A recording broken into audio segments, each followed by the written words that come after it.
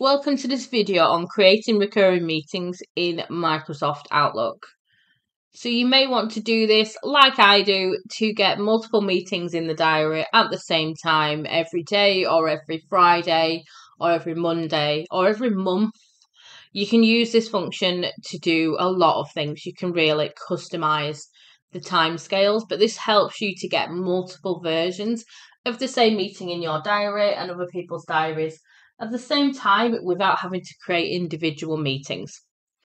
So a great example this is I generally put a quick slot in for my lunch so that I don't get meetings constantly overriding that and I get to take a really nice break midday.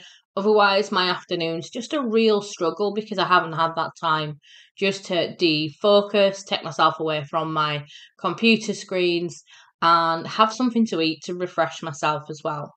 And you can see there's a little icon in the bottom right hand corner of those items with a little, almost like an oval with arrows going around it. It's telling me that it's recurring. So it's happening multiple times until I tell it to stop. So you set the rules on how this works. Now, don't worry, if you've set that, I can always move one of them at any point. So sometimes I do need to move my lunch because someone does book a meeting in, or I just need to do something at 12 and I'm actually going to move it till a different time. So if I click and drag and move one of them to a different time, depending on which type of Outlook you've got going on, sometimes you might get a quick warning to say, do you want to move this or all the events? Other times it might just move that one. It's not going to move them all without confirming with you especially if you move it manually. Obviously, you can double click and change the whole event, but it is treated as one. So if you go in and change it all for the future, it will move all the past ones, which isn't an issue as long as they're in the past. But if you've made any manual changes to the, the recurring meetings in the next couple of weeks, then you might need to go back in and sort them out. So just be aware there's a few little things you need to think about. Let's have a look at adding one in there. So I'm just going to double click. So everything looks really similar.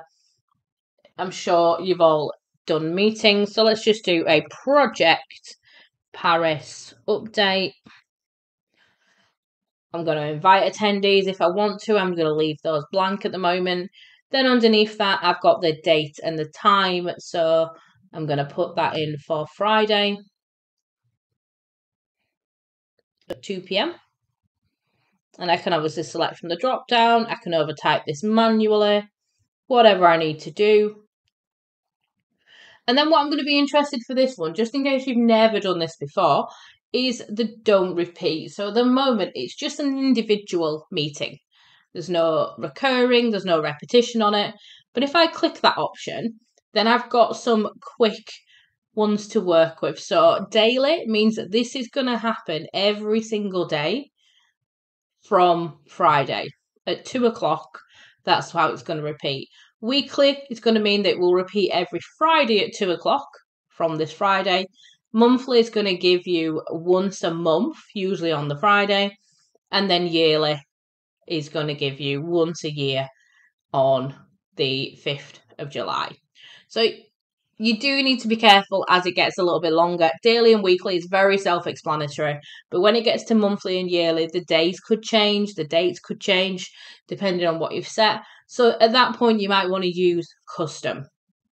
So if I select custom, you can see what's going on here.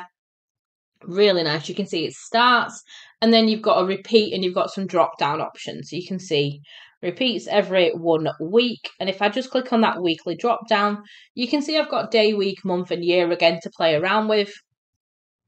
And then you can see I've got my my days of the week. Now, if I change to repeats every one day, you can see it's got my Monday to Saturday there. And what I can do then, if I only want it to repeat on a weekday, if I want to ignore the weekends, I can just deselect them. And you can see it occurs every Monday, Tuesday, Wednesday, Thursday, and Friday. So you can play around with it as well. So I'm going to change that back to every week. And it's picked a Friday again because I've already booked my first meeting in on a Friday. What you also want to have a look at is the end date. So sometimes you just want this to happen for two weeks, for three weeks, for four weeks, for five weeks. Or you just want it to go on and on and on because it may be a weekly team meeting that you're going to have. So you can remove the end date if you want to, and then you can choose an end date also if you want to as well. So let's say this is going to start on that Friday there, and I'm going to go for one, two, three, four, five. So I'm going to stop it on the 2nd of August. So it's only going to create them for that time frame, and I'm going to click on save.